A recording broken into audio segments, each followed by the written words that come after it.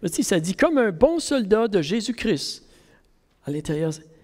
Dans ma famille, ça dit prions pour nos enfants et leur, et leur famille, nos petits-enfants aussi. Prions que le Seigneur les aide à venir à la connaissance de Jésus comme leur sauveur dès leur jeune âge, à connaître l'amour de Dieu en Jésus et à aimer Jésus de tout leur cœur, leur pensée, leur force et leur âme.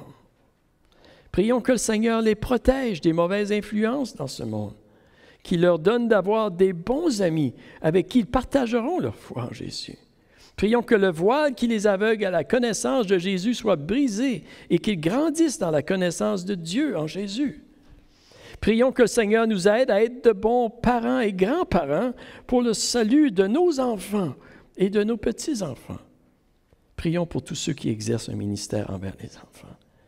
Prions pour que ceux qui ont connu Jésus et, qui, et se sont éloignés reviennent de tout leur cœur à Jésus. Prions pour que ceux qui servent présentement le Seigneur continuent de servir avec un zèle grandissant et deviennent de vaillants soldats de Jésus-Christ pour leur, pour génération. Prions pour un grand réveil parmi les jeunes, les jeunes adultes, dans nos familles. Et le deuxième, c'est comme un bon soldat de Jésus-Christ dans ma communauté. Hein. Prions pour ceux qui ne connaissent pas encore le pardon de Dieu en Jésus, pour nos amis, nos compagnons de travail, nos voisins et nos communautés. Prions que le Seigneur vienne les éclairer et enlever le voile qui les aveugle. Prions pour qu'ils entendent le message de l'Évangile avec la conviction du Saint-Esprit. Prions que Dieu puisse agir surnaturellement dans leur vie et qu'ils réalisent que Jésus les appelle à lui pour leur donner la vraie vie. Prions que Dieu puisse nous ouvrir des portes afin que nous puissions leur partager l'amour de Dieu en Jésus.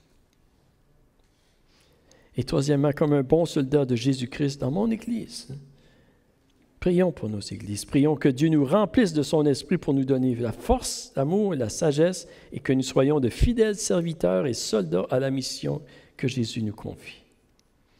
Prions que notre témoignage soit comme une lumière pour ceux qui sont dans la noirceur.